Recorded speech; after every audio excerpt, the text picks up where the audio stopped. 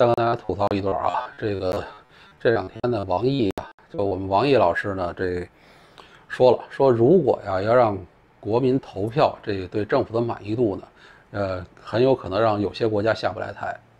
其实有好多人呢，就就挤在王毅老师，但是呢，我觉得你们确实啊，对这个很多政府与民众关系不是很了解，别挤在王毅老师。王毅老师这个说了一句大实话，确实是。你要是今天那个去给这个各个国家测，呃，政民众对政府的满意度，所谓的民众民主国家呀，包括我们的这个美利坚的灯塔国，那一样对这个确实让美国政府可能很下不来台。但是呢，重点在哪儿呢？重点不在这儿，重点呢是美国政府啊也没站在台子上。他自己没立那台子，也没立那牌坊，说你对我满意度得到多高，我才能够继续继续执政。本来他就是他就是多党轮换嘛，对吧？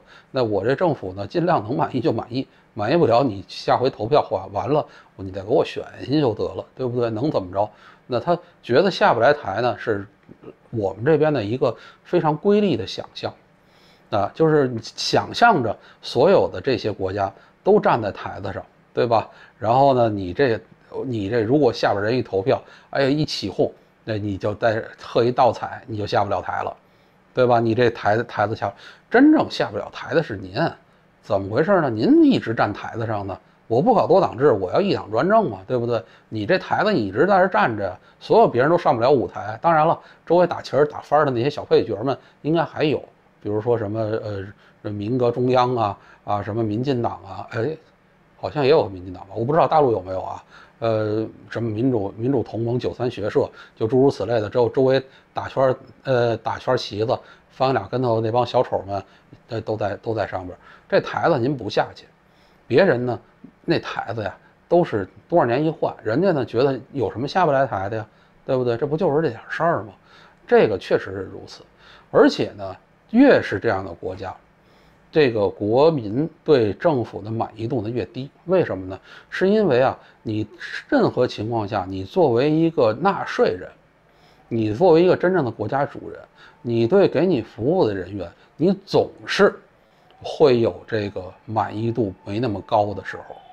这个很多国家是这样的啊，尤其这国家越大，你看小的国家可能还好，你比如像荷兰啊，你比如像这个呃这些这些欧洲这些几个小国呀，这些东西它肯定来讲，它可能满意度还会高一些。但是你只要国家一大一点，或者是怎么样，它对这个政府的满意度一定不不会很高，因为你对这个服务人员。对吧？你虽然从内心当中，你可能非常尊重这个每个人的人权，你对具体的这个人你可能没问题，但是呢，对物业公司，您说我是百分之百的肯定我要满意的，那这个东西其实特别少见，非常少见。关系可能不错，但是你要说起来给他挑了毛病，那个挑的就多了。但是呢，这物业公司呢，他这个东西没问题，你可以换物业嘛，对不对？这个也没关系，反正外边有物业，呃，他还等着进驻呢。只有什么样的国家呀？就是像那种呃满意度特别高的国家，其实世界上真的不不算不算多，有那么几个，有的呢现在已经灭国了。你比如说当年呃利比亚，对吧？这个满意对卡扎菲，他满意度都特别高。你你然后呢就是伊拉克，这您这您知道？伊拉克萨达姆萨达姆老师，萨达姆老师这个当时人他还在生在世的时候。对吧？还掌握这权柄之时，手里有枪、有毒气弹的时候，当然，哎，我说的就是毒气弹啊！您甭说大规模杀伤性武器什么的，那是美国人的借口。你这你你可以跟你可以跟我说，但是他用毒气弹屠屠杀那个库尔德人，这个事情都已经是在论的事儿了，您就别争了。他手里有这个，至少有这个东西，曾经用过，手里有枪有毒气弹的时候呢，他老人家那支持率也高。呃，我记得应该是百分之九十几吧，九十九，我不知道剩下那个百分之一是干嘛去了。也幸好，我们这个真的是只能到百分之百，要不然的话，我觉得萨达姆老师那个能突破百分之百。那个你再还有还有啊，对政府满意度高的是那个我们邻居啊，北朝鲜，北朝鲜对政府满意度也高。他呢，可能如果要一个人当十个人用。基本上满意度百分之千。不过呀，我给大家讲一则旧闻啊，讲一则旧闻，这个北朝鲜是特别谦虚的一个国家。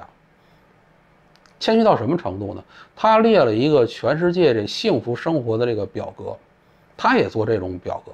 像我我党是一样的，也做这种。比如说我以我党的这个呃民主的这种呃对民主的执着以及对民主的这种呃认同，我我们也做，我们也出那个中国民主白皮书嘛，对不对？那这个这北朝鲜也做这全全球幸福的这个幸福排名，排第一的是咱中国。我操！当时我看着就，哎呀，真的是，真的不怎么说呢，就是吐槽吧，就是不槽多无法，这槽点太多了，没法去吐。然后呢，呃，百分之好像是中国幸福度百分之百分之百吧，还是百分之九十几啊？然后呢，朝鲜呢比他差一点，第二名。然后我当时就觉得，哎呀，真的是 挺牛逼，相当牛逼啊！呃，三胖同志还是还是很还是很懂事的一个孩子。那是这样，就是说，嗯，恰恰说明，恰恰说明，能说不满意的，这个东西才是很重要的一个事情，对吧？这个东西，就呃，有一个笑话就在说嘛，说那个说前呃前苏联嘛，对吧？说你为什么从前苏联出来？前苏联那个就是你从苏联出来干嘛？你这个不好吗？那个不好吗？都说好。然后那你为什么来美国？在美国我有说不好的权利，重点就在于啊。这个能有说不好的权利，对吧？重点就在于民众有让这帮人不好下不来台的这个权利，而且并不受这种各种各样的对保证你言论自由，但不保证你言论之后的自由，没有这种事儿，没有这种秋后算账的这种事儿。那保证这些权利之后，你才能够说讨论这个问题。你天天跟我说。大哥，您您是是指不定什么时候就删帖封号抓人，对不对？在那个微信群里，或者是在微信上吐槽两句，警察都能被抓进去十几天。那你要想去那个维个权，直接就能给你扣起来，有黑监狱，而且这个黑监狱还是他妈外包的。啊，这包那个保安公司过去，去把这黑监狱给做起来的。那这些东西，您跟我说，他您这是叫全是就满意度很高。我确实确实，我要在国内，我满意度也挺高的。其实实际上说呀，就是在中国来讲，我原来啊，呃，要在国内生活，我满意度其实要高于普通人。这话呢是实话实说的事儿。为什么这么说啊？是因为你多少有俩小钱儿，对吧？多少呢？在社会上有一定知名度，而且呢，你在这个社会里，你其实像我们这种比较比较油滑的人呢，那个混的算是得如鱼得水那种感觉，这个不是什么问题，这我也不不讳言的说。那如果你要说对这个社会的满意度的话，那我在日本，我其实除了这个生活环境之外啊，呃，其实满意度不如中国，为什么？没有，我现在在这边没有任何的，没有任何的能够超过一个普通日本人的权利，对吧？我也没有这些像中国那样的，呃，各种各样的关系关系网，我可以办任何事情都可以非常方便的去做，别人可能办不了，我就可以，我就可以轻松的去办到这些东西，我现在都没有。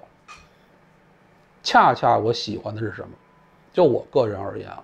我不论是我是要去美国，或者我我现在生活在日本，这这或者我去欧洲，这这个世界对我是 open 的，我可以去任何任何我想去的国家，听着我想去的国家。那这些东西我恰恰的要的就是这种没有特权，没有像中国那么满意的生活。那个满意是我能够知道的，但是我知道那东西是不对的，对吧？对我这种人而言，那。其他的像这种现在的这种，我没有办法像中国那么满意、那么生活的，我觉得这个生活才是我真正想要的东西，对不对？所以说，对政府，包括对于社会的满意，什么叫满意？什么叫满意？能够说不满意的，才是真正意义上满意的一个社会。至少他奔着让老百姓满意一条路在走。老百姓说不能说不满意的这社会，你至于他多高的满意度是没有任何意义的。王毅老师说的这些这些话呀，他说的是没错的，说的是没错的。这些政府他们的满意对老百姓对他们的满意度肯定就是，肯定就是就很就很低，至少没有中国那么高，这很正常。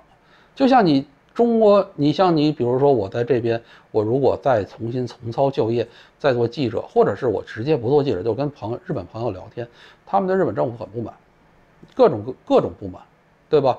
那但是呢，他只能够通过一点一点的这种，呃，甚至于他们对这种政治的改变都不太抱信心。那这跟中国呢又不太一样，但是他可以随便说，你只要在大庭广众之下，你怎么说，没有人没有人会怎么样你。在中国不然啊。中国就是那个，你比如说你，我原来是干过这个，我干记者的时候，有段时间也在电视台干。那就是说你去去把这个你去街头采访，如果你要是说，呃，马上这个人嘴里，你知道吗？有一个对着摄像机的那种综合症，叫 CCTV 综合症、新闻联播综合症。